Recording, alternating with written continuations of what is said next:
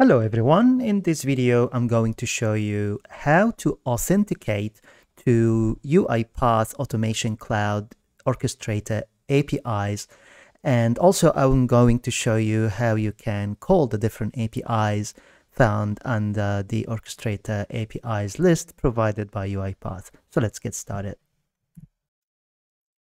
To get to the list of APIs provided by UiPath, you need to do the following. In your browser, type cloud.uipath.com followed by the organization name. In my case, my organization is called AI Automation One. And then follow that with the tenant name uh, that you want to uh, use for calling the APIs. In my case, the tenant name is called default tenant. After that, append the word orchestrator underscore. And after that, you can put the word swagger slash index.html. Once you call that URL, you will be able to see the same um, swagger definition that I'm showing on my screen at the moment. And if you scroll down this page, you will be able to see a full list of APIs provided by UiPath. For example, if you want to list and see all the APIs for folders interaction, you can find that here. If we expand that node, you can see the different kind of APIs, deleting a folder, getting a specific folder, getting a list of folders, and so on.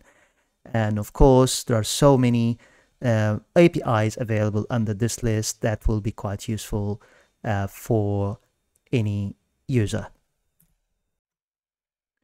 Before calling any of the APIs that you have under the Swagger definition, it's always recommended to make sure that you're authorized to call the APIs. In order to do that, just click on the authorize button here. And even if you are logged in, it's always recommended to log out and click authorize again. With that, you make sure that you are logged in properly to the Swagger definition and afterwards you can call any of the available APIs. Now, let's test one of the APIs to see its output here in Swagger. Let's go to Get Folders API and we will click on Try It Out. As you can see, there are so many parameters that you can provide to this API, but we will skip that for now and we will just click on Execute. Once we click on that, you will be able to see here that curl command was executed and this is the requested URL and we got 200 status code which means the call was successful and in the response body here you can see the output of that API call and it's obvious here that we got three folders uh, as an output of this API. If I go to my orchestrator I can see that yes, I have three folders here, autopilot, shared, and UiPath.settings. So the API call is working correctly.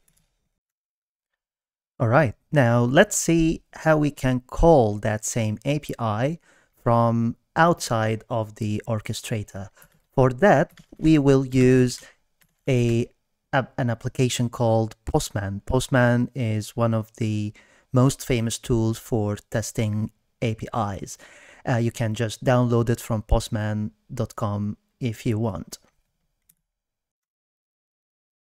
We have here the same uh, API that we called from the uh, orchestrator Swagger.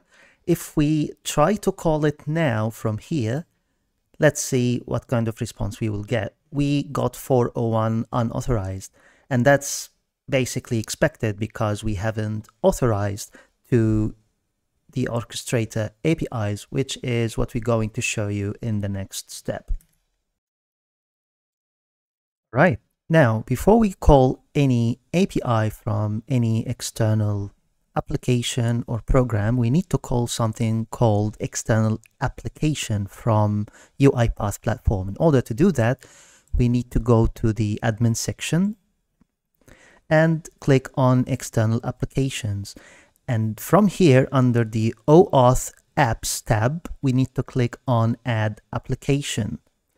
We need to give a name, so I will give it this name for now, and leave the application type on confidential application setting. After that, we need to click on Add Scopes. From here, under the resource, we need to select Orchestrator API Access. And we need to select Application Scopes. And from here, we click on Select All and Save. Once we do that, we need to click on Add. And that's basically how you will end up with a new external application. And from here, you will need to save this app ID and app secret because we will use them in the next few steps.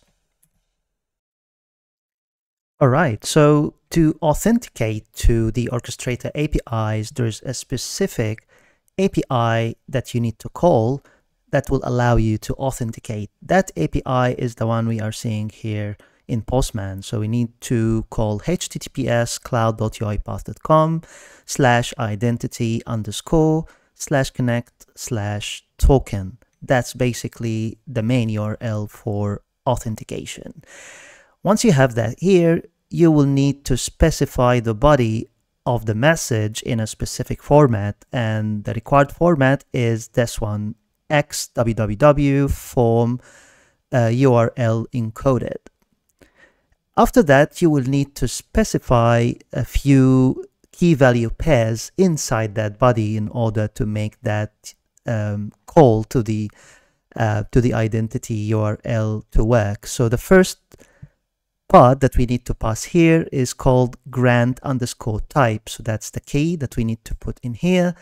And the value should be client underscore credentials. And then we need to add the client underscore ID and client underscore secret. And those are basically the client ID and secret that we generated from the external application. So for me, I will just copy and paste these values in here.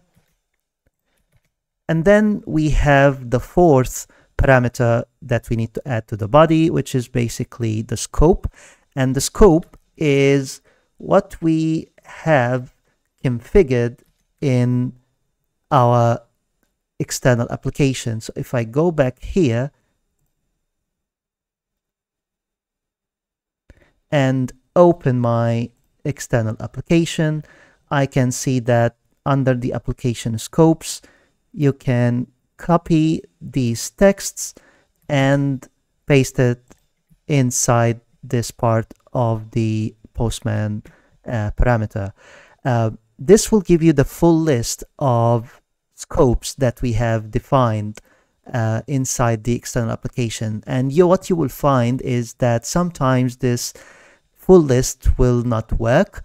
So what I have done is I have a short, shorter list of scopes that I tested and uh, confirmed it's working. And this is basically what I will need to call uh, my API in the following steps. So we need to put that in here. And now, if I try to call that API, what you will see here in the response is a 200 status uh, message. And inside the body, you will get the required access token that you will need to use in the following API calls to retrieve any kind of data from other APIs, like for example, getting a list of folders inside a specific tenant. And that's what we will see in the next few steps. Right, so now let's go back to the get folders API. So if you look at the Swagger definition here, you can see that the required scopes are or.folders or or.folders.read. So when I generated my bearer token in the previous step, I made sure that in the scopes I have or.folders included, which means that the generated token can be used for calling this particular API.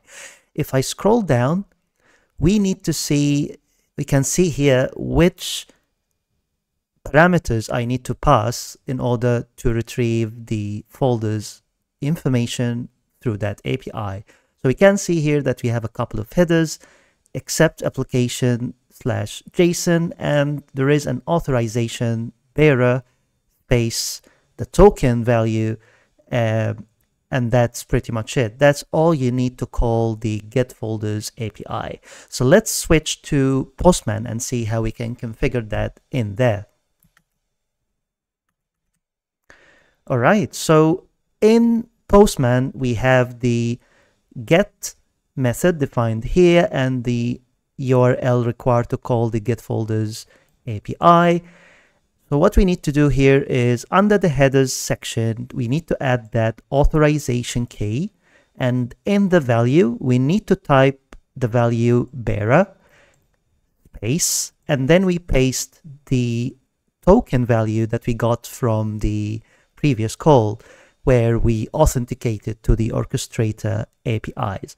Once we have that defined here, we can test the API. And as you can see here, we got 200 status code, which means the call is successful. And in the output here, we can see we got three records in the output and it shows the correct folders data from my tenant. Alright, so as a bonus, I will show you how you can authenticate to the Orchestrator APIs from Studio Web. So as you can see here, I have already created a project in Studio Web and in that project I have only three activities. The first activity and the most important one is a HTTP request where I provide uh, all the parameters and all the details of the um, authentication API and I'm following that with a couple of log message activities where we will be able to see in the log the status code retrieved and the actual content that we will get from that API call. So let's see what we have configured inside the HTTP uh, request activity. If I click on that activity here on the right hand side, we will see the details and the different properties of that activity. And what I did here, it just it's just I configured the request method as post and the request URL, we used the same URL I used in Postman. And in the parameters, I provided all the four uh, key value pairs we needed for that authentication. These are pretty much the same ones we used in Postman.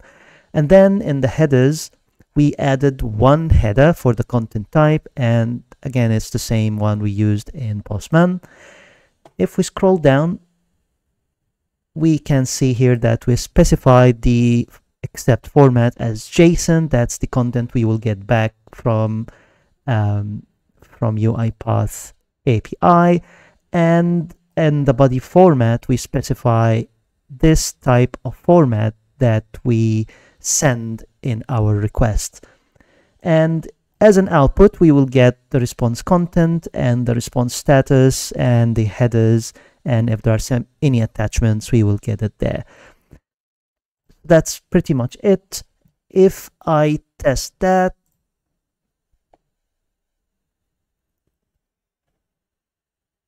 we can see here that the call was successful and I got 200 message from this log message activity and also the access token is retrieved successfully as you can see here.